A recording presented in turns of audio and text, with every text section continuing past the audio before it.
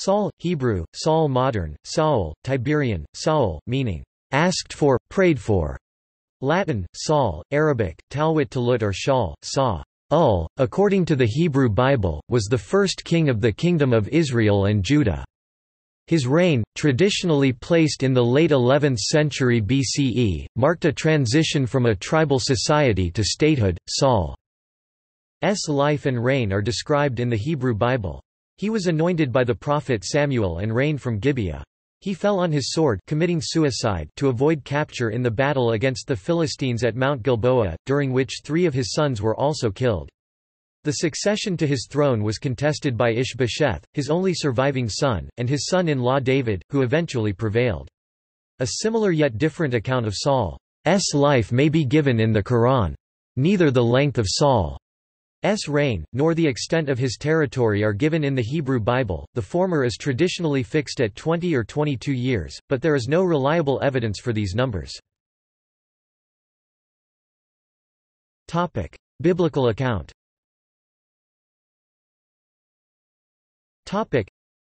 The biblical accounts of Saul's life are found in the books of Samuel. House of King Saul According to the Tanakh, Saul was the son of Kish, of the family of the Matrites, and a member of the tribe of Benjamin, one of the twelve tribes of Israel. It appears that he came from Gibeah. Saul married Ahinoam, daughter of Ahimaaz, with whom he sired four sons Jonathan, Abinadab, Malchishua and Ishbosheth and two daughters Merab and Michal. Saul also had a concubine named Rizpah, daughter of Aiah, who bore him two sons, Armoni and Mephibosheth. 2 Samuel chapter 21 verse 8. Saul died at the Battle of Mount Gilboa 1 Samuel chapter 31 verses 3 to 6, 1 Chronicles chapter 10 verses 3 to 6, and was buried in Zelah in the region of Benjamin 2 Samuel chapter 21 verse 14. 3 of Saul's sons, Jonathan, Abinadab, and Malchishua, died with him at Mount Gilboa 1 Samuel chapter 31 verse 2, 1 Chronicles chapter 10 verse 2. Ishbosheth became king of Israel, at the age of forty. At David's request Abner had Michal returned to David. Ishbosheth reigned for two years, but after the death of Abner, was killed by two of his own captains 2 Samuel chapter 4 verse 5. Armoni and Mephibosheth Saul's sons with his concubine, Rizpah were given by David along with the five sons of Merab Saul. S daughter to the Gibeonites, who killed them. 2 Samuel chapter 21 verses 8 to 9. Michal was childless. 2 Samuel chapter 6 verse 23. The only male descendant of Saul to survive was Mephibosheth, Jonathan's lame son. 2 Samuel chapter 4 verse 4, who was 5 years old at the time of his father's and grandfather's deaths. In time, he came under the protection of David. 2 Samuel chapter 9 verses 7 to 13. Mephibosheth had a young son, Micah 2 Samuel chapter 9 verse 12, who had four sons and descendants named until the ninth generation 1 Chronicles chapter 8 verses 35 to 38. Topic: Anointed as king. Topic: The first book of Samuel gives three accounts of Saul's rise to the throne in three successive chapters. Saul is sent with a servant to look for his father. S strayed donkeys. Leaving his home at Gibeah, they eventually arrive at the district of Zuph, at which point Saul suggests abandoning their search. Saul's servant tells him that they happen to be near the town of Ramah, where a famous seer is located, and suggests that they should consult him first. The seer later identified by the text as Samuel offers hospitality to Saul and later anoints him in private 1 Samuel chapter 9. A popular movement having arisen to establish a centralized monarchy like other nations, Samuel assembles the people at Mizpah in Benjamin to appoint a king, fulfilling his previous promise to do so 1 Samuel chapter 8. Samuel organizes the people by tribe and by clan. Using the Urim and Thummim, he selects the tribe of Benjamin, from within the tribe selecting the clan of Matri, and from them selecting Saul. After having been chosen as monarch, Saul returns to his home in Gibeah, along with a number of followers 1 Samuel chapter 10 verses 17 to 24. However, some of the people are openly unhappy with the selection of Saul. The Ammonites, led by Nahash, lay siege to Jabesh Gilead. Under the terms of surrender, the occupants of the city are to be forced into slavery and have their right eyes removed. Instead they send word of this to the other tribes of Israel, and the tribes west of the Jordan assemble an army under Saul.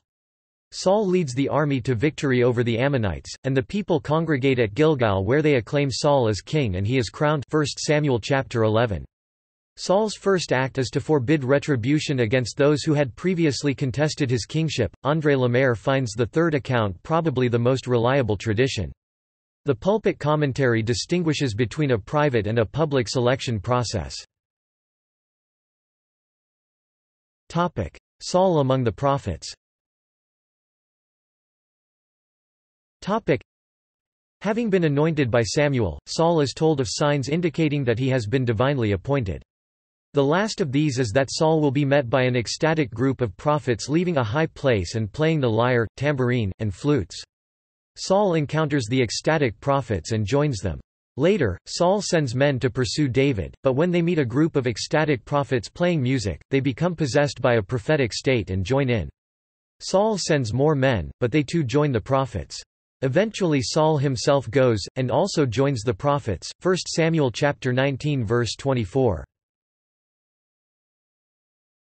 Topic: Military victories. Topic: After relieving the siege of Jabesh Gilead, Saul conducts military campaigns against the Moabites, Ammonites, Edomites, Aram Rehob and the kings of Zobah, the Philistines, and the Amalekites 1 Samuel chapter 14 verse 47. A biblical summary states that, "...wherever he turned, he was victorious." In his continuing battles with Philistines, Saul instructs his armies, by a rash oath, to fast.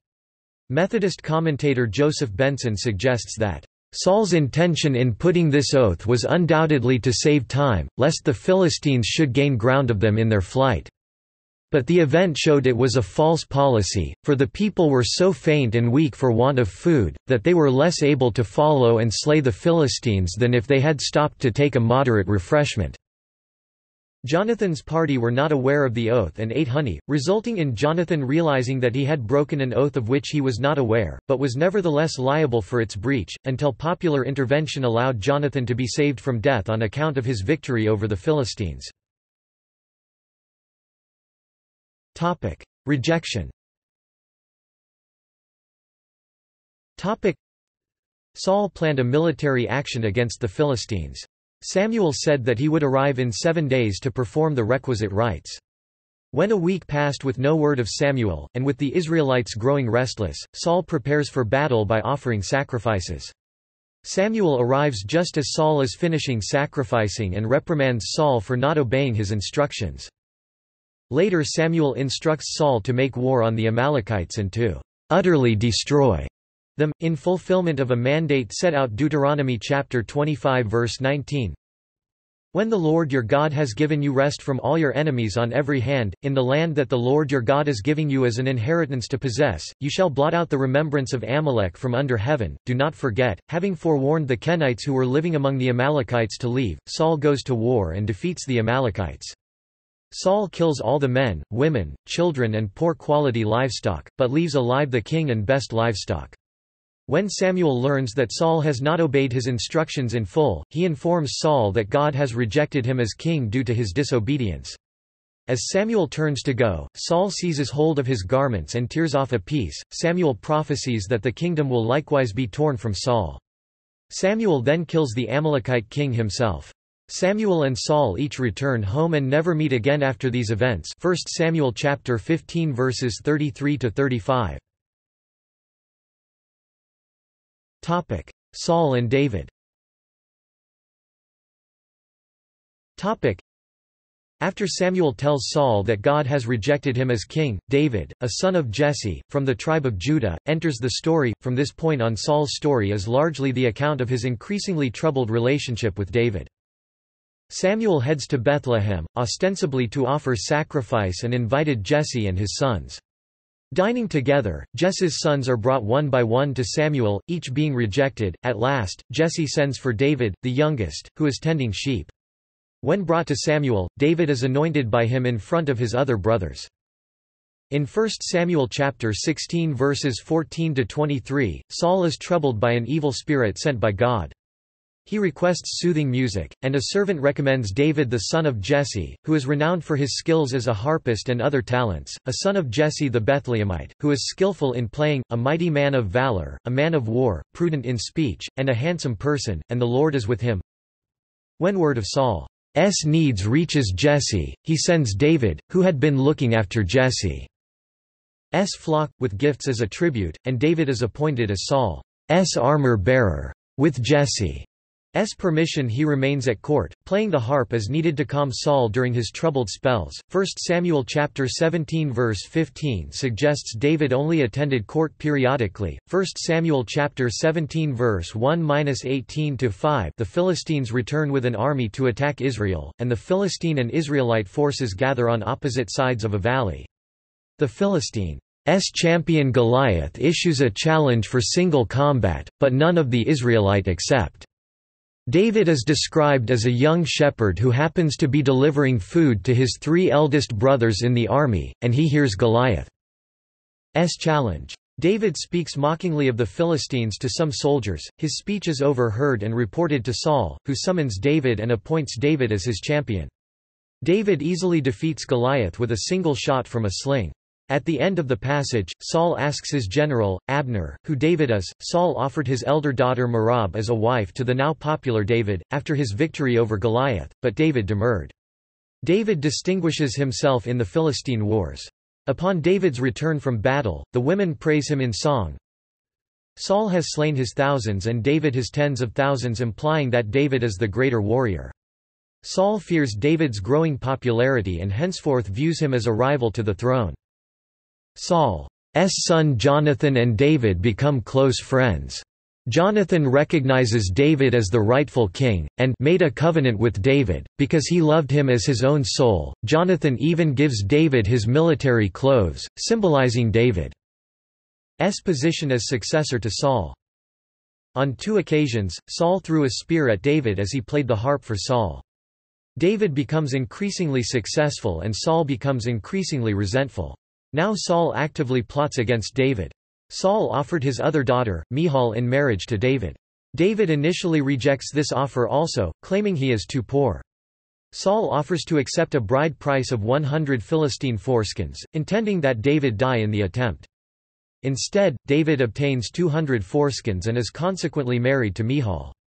Jonathan arranges a short-lived reconciliation between Saul and David and for a while David served Saul as in times past. 1 Samuel chapter 19 verses 1 to 7 until the distressing spirit from the Lord reappeared. Saul sends assassins in the night, but Michal helps him escape, tricking them by placing a household idol in his bed. David flees to Jonathan, who arranges a meeting with his father. While dining with Saul, Jonathan explains David's absence, saying he has been called away to his brothers. But Saul sees through the ruse and reprimands Jonathan for protecting David, warning him that his love of David will cost him the kingdom, furiously throwing a spear at him. The next day, Jonathan meets with David and tells him Saul's intent. The two friends say their goodbyes, and David flees into the countryside. Saul later marries Michal to another man. Saul is later informed by his head shepherd, Doeg the Edomite, that high priest Ahimelech assisted David, giving him the sword of Goliath, which had been kept at the temple at Nob. Doeg kills Ahimelech and 85 other priests and Saul orders the death of the entire population of Nob. David had left Nob by this point and had amassed some 300 disaffected men including some outlaws. With these men David rescues the town of Keilah from a Philistine attack. Saul realizes he could trap David and his men by laying the city to siege. David realizes that the citizens of Keilah will betray him to Saul. He flees to Ziph pursued by Saul. Saul hunts David in the vicinity of Ziph on two occasions. Some of the inhabitants of Ziph betray David's location to Saul, but David hears about it and flees with his men to Maon. Saul follows David, but is forced to break off pursuit when the Philistines invade. After dealing with that threat Saul tracks David to the caves at Engedi. As he searches the cave David manages to cut off a piece of Saul's robe without being discovered, yet David restrains his men from harming the king. David then leaves the cave, revealing himself to Saul, and gives a speech that persuades Saul to reconcile.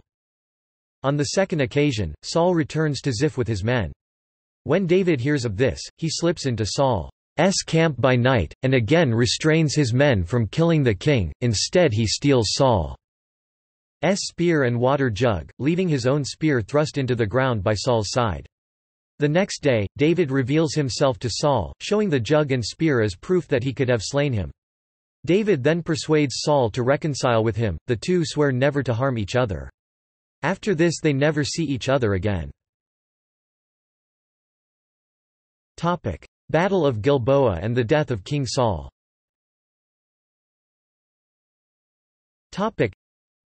the Philistines make war again, assembling at Shunem, and Saul leads his army to face them at Mount Gilboa. Before the battle he goes to consult a medium or witch at Endor. The medium, unaware of his identity, reminds him that the king has made witchcraft a capital offense, but he assures her that Saul will not harm her. She conjures the spirit of the prophet Samuel, who before his death had prophesied that he would lose the kingdom. Samuel tells him that God has fully rejected him, will no longer hear his prayers, has given the kingdom to David and that the next day he will lose both the battle and his life. Saul collapses in fear, and the medium restores him with food in anticipation of the next day's battle. 1 Samuel and 2 Samuel give conflicting accounts of Saul's death. In 1 Samuel, and in a parallel account in 1 Chronicles chapter 10, as the defeated Israelites flee, Saul asks his armor-bearer to kill him, but he refuses, and so Saul falls upon his own sword. In 2 Samuel, an Amalekite tells David he found Saul leaning on his spear after the battle and delivered the coup de grâce. David has the Amalekite put to death for accusing himself of killing the anointed king. The victorious Philistines recover Saul's body as well as those of his three sons who also died in the battle, decapitated them and displayed them on the wall of Beth Shan. They display Saul's armor in the temple of Ashtoreth an Ascalonian temple of the Canaanites. But at night the inhabitants of Jabesh Gilead retrieve the bodies for cremation and burial 1 Samuel chapter 31 verses 8 to 13, 1 Chronicles 10:12. Later on, David takes the bones of Saul and of his son Jonathan and buries them in Zelah, in the tomb of his father 2 Samuel chapter 21 verses 12 to 14. The account in 1 Chronicles summarizes by stating that Saul died for his unfaithfulness which he had committed against the Lord, because he did not keep the word of the Lord, and also because he consulted a medium for guidance. Biblical criticism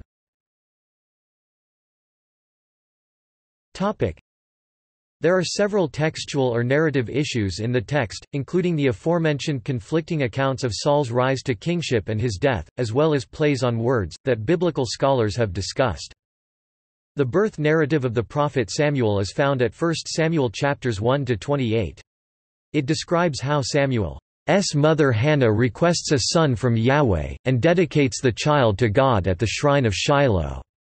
The passage makes extensive play with the root elements of Saul's name, and ends with the phrase Who saw Ol la Yahweh, he is dedicated to Yahweh. Hannah names the resulting son Samuel, giving as her explanation, because from God I requested him. Samuel's name, however, can mean, name of God, or heard of God, or told of God, and the etymology and multiple references to the root of the name seems to fit Saul instead. The majority explanation for the discrepancy is that the narrative originally described the birth of Saul, and was given to Samuel in order to enhance the position of David and Samuel at the former king's expense. The Bible's tone with regard to Saul changes over the course of the narrative, especially around the passage where David appears, midway through 1 Samuel. Before, Saul is presented in positive terms, but afterward his mode of ecstatic prophecy is suddenly described as fits of madness, his errors and disobedience to Samuel's instructions are stressed and he becomes a paranoiac. This may indicate that the David story is inserted from a source loyal to the house of David. David's lament over Saul in 2 Samuel chapter 1 then serves an apologetic purpose, clearing David of the blame for Saul's death. God apparent change of mind in rejecting Saul as king has raised questions about God's repentance, which could be considered as inconsistent with God's immutability. In the King James Version, God's word to Samuel states, It repenteth me that I have set up Saul to be king. Samuel's words later clarify that God's repentance is not like human regret or reconsideration. The strength of Israel will not lie nor relent. For he is not a man, that he should relent. Methodist biblical commentator Joseph Benson writes that, Repentance, properly speaking, implies grief of heart, and a change of counsels. Understood in which sense, it can have no place in God. But it is often ascribed to him in the scriptures when he alters his method of dealing with persons, and treats them as if he did indeed repent of the kindness he had shown them.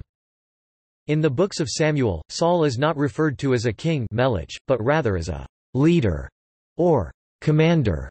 Najid 1 Samuel chapter 9 verse 16, 1 Samuel chapter 10 verse 1. However, Saul is also said to be made a king Melech at Gilgal 1 Samuel chapter 11 verse 15. Various authors have attempted to harmonize the two narratives regarding Saul's death. Josephus writes that Saul S attempted suicide was stalled because he was not able to run the sword through himself, and that he therefore asked the Amalekite to finish it. Later biblical criticism has posited that the story of Saul's death was redacted from various sources, although this view in turn has been criticized because it does not explain why the contradiction was left in by the redactors. But since 2 Samuel records only the Amalekite S report, and not the report of any other eyewitness. Some scholars theorize that the Amalekite may have been lying to try to gain favor with David. On this view, 1 Samuel records what actually happened, while 2 Samuel records what the Amalekite claims happened. Classical rabbinical views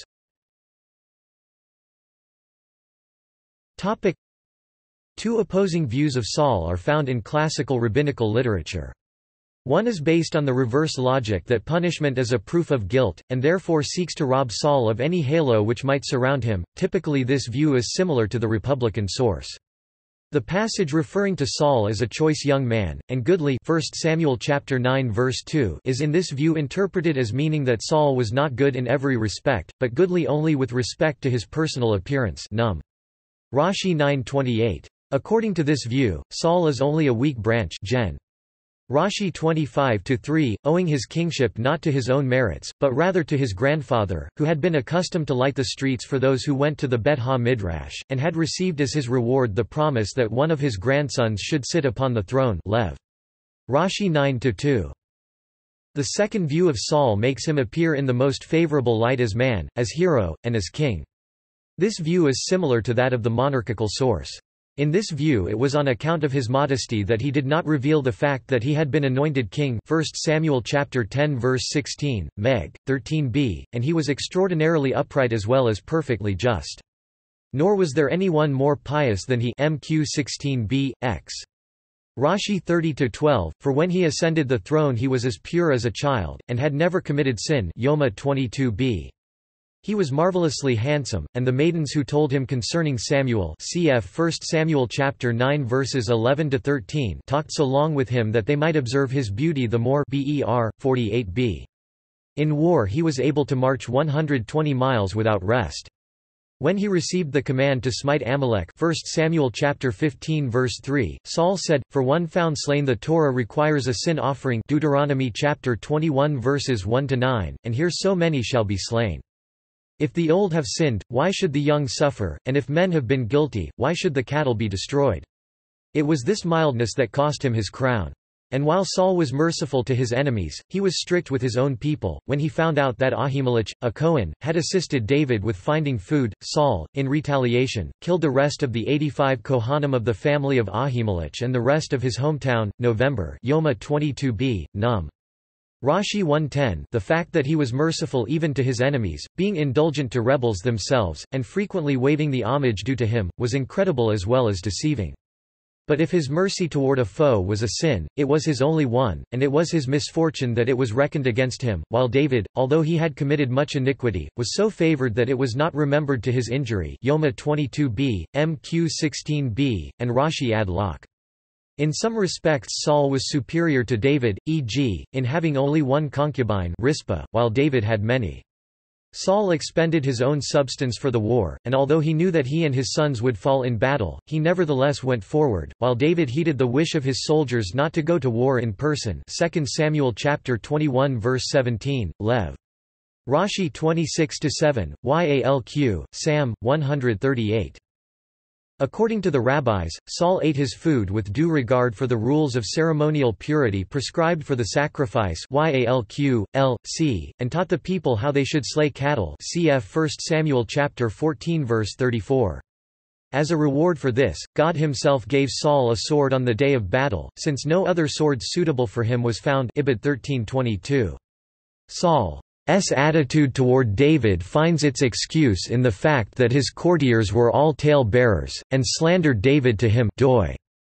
Rashi 5.10, and in like manner he was incited by Doeg against the priests of Nob 1 Samuel chapter 22 verses 16 to 19. Yalq, Sam, 131, this act was forgiven him, however, and a heavenly voice was heard, proclaiming, Saul is the chosen one of God Ber, 12b. His anger at the Gibeonites 2 Samuel chapter 21 verse 2 was not personal hatred, but was induced by zeal for the welfare of Israel Num. Rashi 8-4. The fact that he made his daughter remarry 1 Samuel chapter 25 verse 44 finds its explanation in his Saul's view that her betrothal to David had been gained by false pretenses and was therefore invalid Sanhedrin 19b. During the lifetime of Saul there was no idolatry in Israel. The famine in the reign of David cf 2 Samuel chapter 21 verse 1 was to punish the people, because they had not accorded Saul the proper honors at his burial Num. Rashi 8-4. In Sheol, Samuel reveals to Saul that in the next world, Saul would dwell with Samuel, which is a proof that all has been forgiven him by God Ur, 53 ba. In Islam